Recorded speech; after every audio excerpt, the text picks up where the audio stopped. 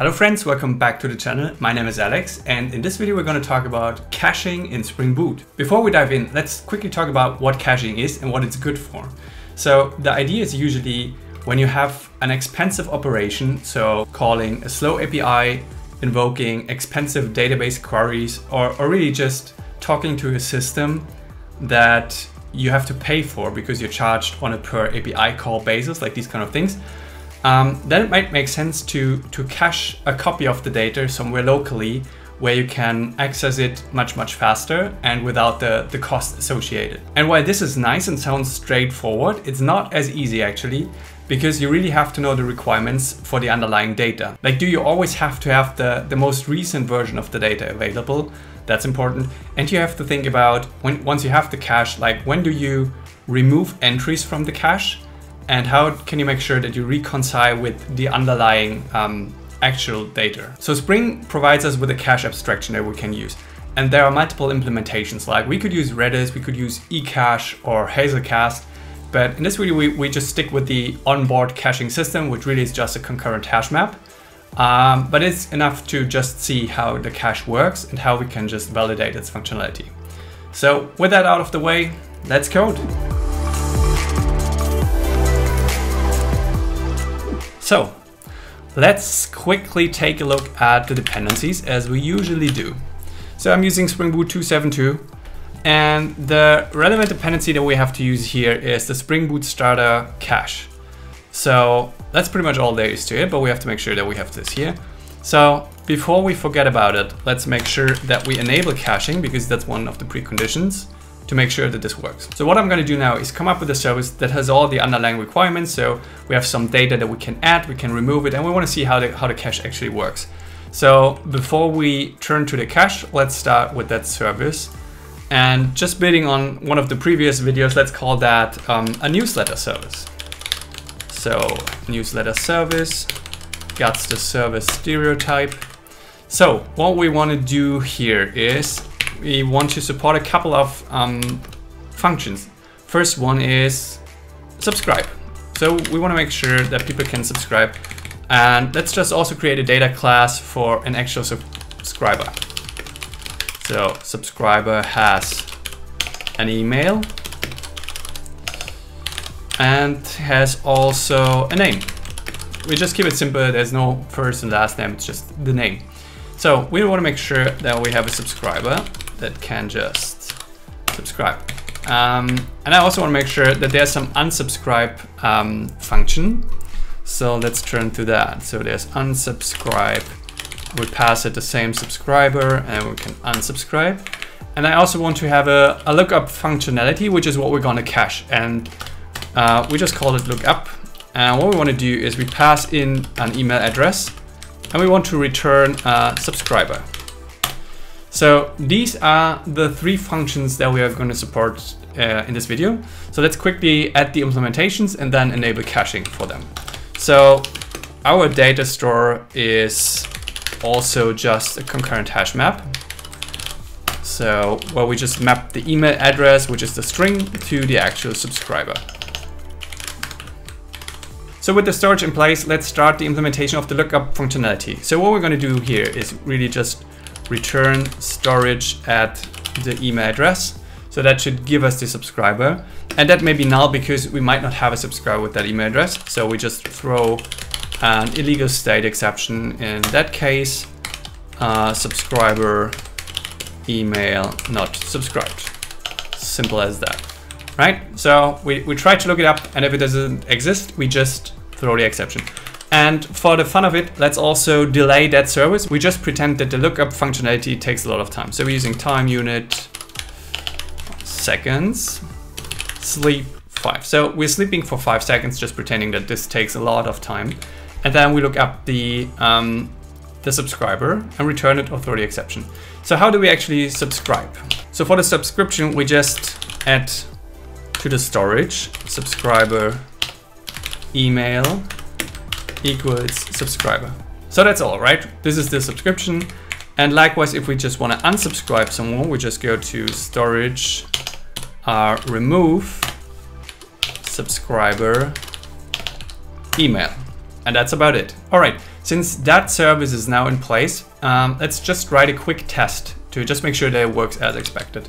So let's go to the test directory and this is our default test which is um, caching works. Doesn't really matter here. So we need the service here to test this. So I'm using auto-wired and this has to be late init var service. That's the newsletter service. So, and then um, let's actually create a subscriber. Subscriber, uh, that will be me. So this is my email address, say hi if you want. Um, that's also me. Um, and we're using assertions. Um, no, hang on, we first subscribe. So we're using the, the service and subscribe the subscriber.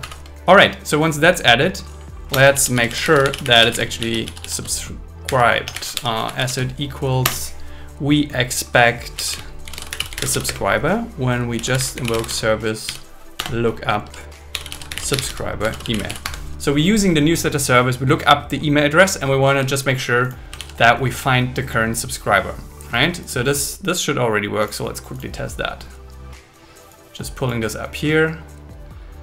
And as you would expect, it takes a lot of time because um, the lookup operation is rather expensive, right? So we, we subscribe the user, the lookup takes five seconds because we pretend that it's, that it's super um, expensive and the test succeeds, right? And then likewise, we can just make sure that we um, that we unsubscribe the user, unsubscribe subscriber. And now we want to make sure that whenever we look up that there is an illegal state exception that is thrown. So um, that needs to be Java. Uh, whenever we call lookup, not service lookup, so just lookup subscriber email.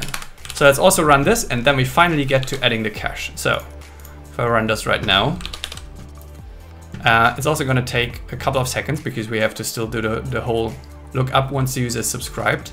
But eventually um, that succeeds, we unsubscribe the user and then we expect the exception to be thrown and that all works as expected, right? So uh, we still have 10 seconds now accumulating because that lookup itself also takes 5 seconds. So with that out of the way, let's go back to the newsletter service and actually start caching something. So the first thing that, that we want to change is the lookup functionality. So we're adding the cacheable annotation and it looks like this. And now we can also specify a name for the cache because we might maintain different caches per collection, resource, whatever we have there to organize the data. So I can just pass in um, a value and call this subscribers because this is, this is how we refer to this cache. So right now, this is already being cached. And before we test this, um, let's also add a few things that we need to take care of. Because right now, the thing is, if the, if the underlying storage changes, this is not reflected here until we tell Spring, hey, there is a there is an update to the cache. Please put this new element into the cache. So we're using cache put here. And then we also have to use the same the same cache name, so it's subscribers. And we have to provide the key because here I'm passing in a subscriber object. So we have to tell Spring what the key should be. So I'm using a Spring expression language. We can just refer to the to the parameter of the function and use subscriber email. So this will make sure that we add something to the cache.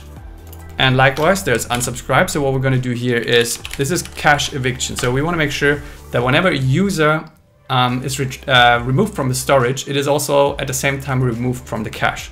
So this is what we're doing here. So we again have to pass the name of the cache and again have to declare the key that we're using here. So I'm using subscriber email. All right, so how do we actually test this right now? So let's go back to the test.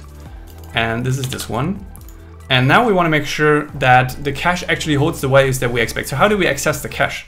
So that's pretty straightforward as well. So we can just inject private late init var uh, the cache manager. So, and with that we can access our actual cache. So let's go there. So our actual cache is manager get cache and now we have to provide the name that we've been using so it's subscribers because there may be multiple caches that we that we have in the application right and right now let's make sure that the cache is empty so I'm asserting null that cache uh, cache get um, subscriber email. So we want to make sure, um, yeah, that may be null, but we know that, that, this is not null in that case, so I'm just overriding this. So um, we want to make sure that the cache is empty initially. And then we have the subscribe operation, and we want to make sure that now the cache holds one of the values. So assert not null um, cache get subscriber email. So what we've done here is we're making sure the cache is empty, then we subscribe a new subscriber.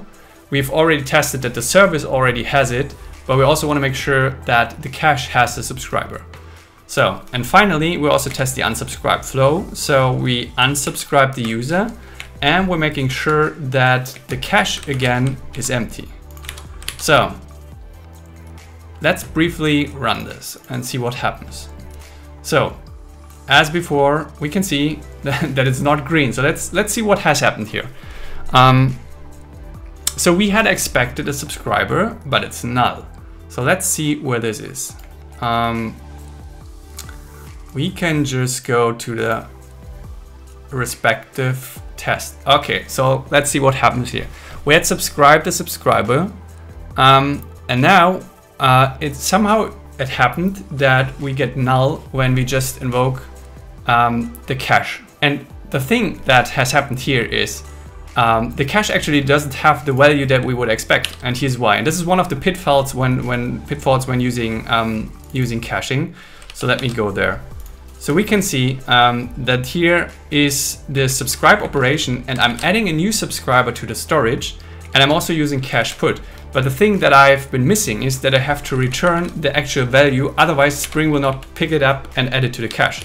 So here I have to return the actual subscriber. So just make sure that we now return um, storage, let's go there, subscriber email and that should be not null, so I can just enforce this, right? So when we have cache put and it's on a function, we have to make sure that we return the actual value so it's added to the cache because we first might have to compute the value and we can set it here, but we still have to return the value that should be added to the cache.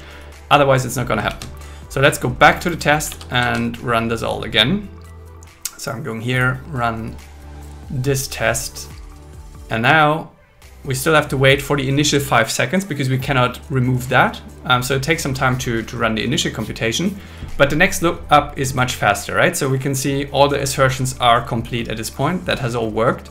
Uh, the cache works as expected. And we still have the second lookup at the end of this test, um, but we can see the test time is only five seconds. Um, so that already means that the lookup um, hasn't incurred any additional cost at this point. So this is a quick way of adding a cache and making sure that it works. Um, again, there are multiple implementations that we can use and that expose their specifics like expiration times and whatnot. But for simple use cases, the, the onboard cache just, just works uh, nicely, so we can go with that. So that wraps it up for this video. Um, let me know if you have any questions in the comments down below. Please subscribe and I'll see you on the next one.